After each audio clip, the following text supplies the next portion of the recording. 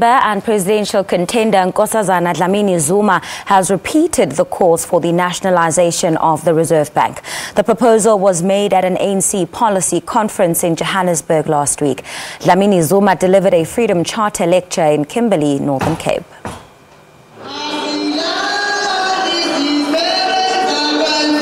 A warm welcome, invited by Francis Baard, the ANC's biggest region in the Northern Cape. In the lecture, the status of the central bank revisited.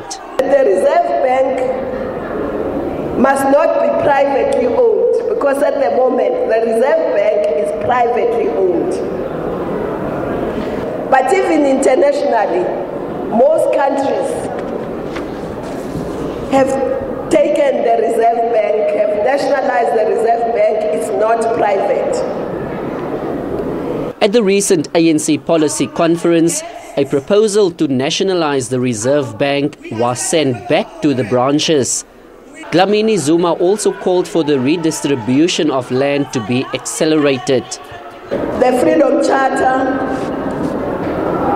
demands that we must speed up the redistribution of the land.